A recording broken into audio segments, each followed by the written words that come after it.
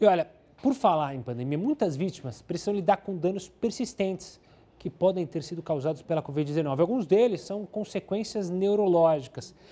Para tentar entender se a situação pode ser preocupante a longo prazo, a médio prazo, se pode ser revertida, a gente conversa agora com o neurocirurgião Júlio Pereira, da Beneficência Portuguesa aqui de São Paulo e também do Sírio Libanês. Doutor, obrigado pela participação aqui conosco mais uma vez no Jornal da Record News. Doutor Júlio, a gente já tem estudos passados, mais de um ano da pandemia, que comprovam a ligação do vírus com problemas neurológicos?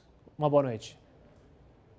Boa noite. Temos sim, esse tema é bastante interessante porque hoje a gente está vivendo não só com o problema agudo da pandemia do Covid-19, mas também com problemas crônicos. A gente já sabe hoje que de 20 a 40% das pessoas que tiveram Covid, isso pode ser forma leve, moderada e grave, somados, né, quase 20%, 20% mais ou menos, tem alterações é, crônicas. E as alterações crônicas que têm chamado muita atenção são as alterações neurológicas que vão desde a perda do olfato por longos períodos e também um, termo que a gente usa que é brain fog, seria como se fosse um nevoeiro. A memória não fica legal, a pessoa fica mais depressiva, alteração emocional também.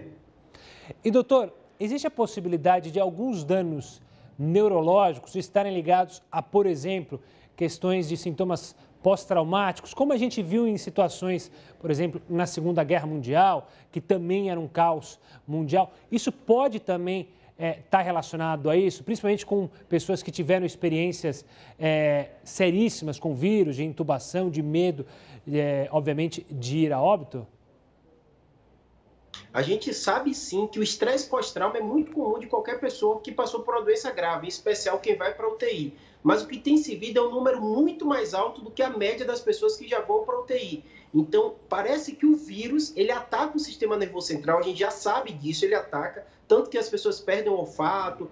A maioria dos sintomas, né, além da febre, tem, é, envolve dor de cabeça, envolve tontura. Então você está correto. Parece ser um misto das duas coisas, mas tem chamado a atenção o número muito mais alto do que a média dos, dos outros traumas que uma pessoa pode acontecer num ambiente crítico de hospital. E, doutor, obviamente que quando a gente suscita esse assunto, traz esse assunto à tona, há preocupação com esses efeitos, mas também em como tratá-los a gente já consegue ter um caminho é, para lidar com esses problemas que surgem após o pico da doença, digamos assim, é, no corpo humano, que são esses casos neurológicos depois já de ser sido tratado? Existe um acompanhamento com o paciente para saber lidar com esses problemas?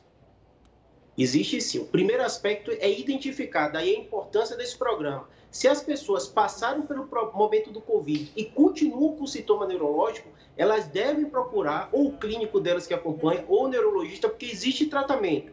Muitos desses tratamentos envolvem até antidepressivo. A gente sabe que o antidepressivo ele tem vários aspectos e um deles é tratar essas doenças que o brain fog eles têm, ele tem aparecido uma melhora com esse tipo de tratamento. Então a gente já sabe a doença, já sabe as consequências e também já sabe como tratar ele.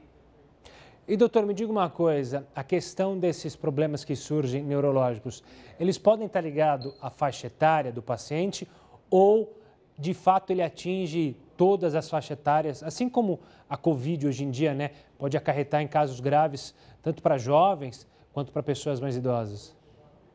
Acomete todas as faixas etárias, nos idosos já tem alguns trabalhos saindo que até acelerar quadros demenciais, o que a gente sabe, a gente está falando da infecção, mas também da quadros vasculares. Então, quem tem Covid tem uma chance maior de ter AVC. Então, às vezes, o paciente pega pequenos AVCs, está acontecendo em todo o consultório de neuro. A pessoa fala, eu tive Covid, eu estou pior memória. Às vezes, você faz uma ressonância, exame de imagem, encontra vários focos de AVC subclínico inicialmente e que depois você identifica no consultório e justifica todo aquele quadro que o paciente está se queixando, e a família muitas vezes.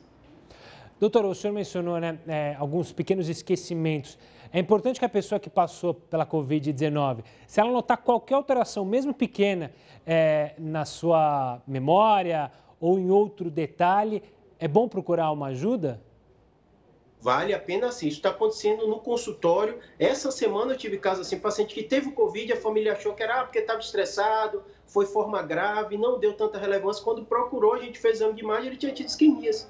Então ele tinha tido múltiplas isquemias, justificavam todos os sintomas e as pessoas acharam que era só do estresse, porque passou por um estresse, então estava mais deprimido. Então, você notou alguma alteração, tem que procurar sim o seu clínico, aí pode ser o clínico, o infectologista te acompanha, e muitas vezes ele vai encaminhar para a gente, para o neuro que vai fazer essa avaliação.